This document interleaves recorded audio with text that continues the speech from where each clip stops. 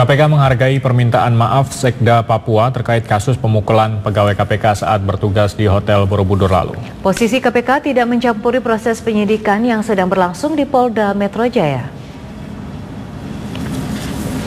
KPK menghargai permintaan maaf Sekda Pemprov Papua Heri Dosinain atas pemukulan terhadap pegawai KPK di Hotel Borobudur beberapa hari lalu. Permintaan maaf ini disampaikan Heri usai ditetapkan tersangka oleh penyidik Polda Metro Jaya. Juru bicara KPK Febri Diansyah mengatakan KPK melihat aspek yang lebih penting yakni sikap kooperatif dan pengakuan kesalahan oleh tersangka Heri Dosinain. Dengan demikian penanganan kasus tersebut bisa lebih lancar. Sementara terkait upaya lembaga masyarakat adat Papua yang menginginkan perdamaian antara Sekda Papua dan KPK, Febri mengaku belum tahu. Posisi KPK tidak mencampuri proses penyidikan di Polda Metro Jaya. Proses hukum lebih lanjut tentu saja itu menjadi domain dari Polri.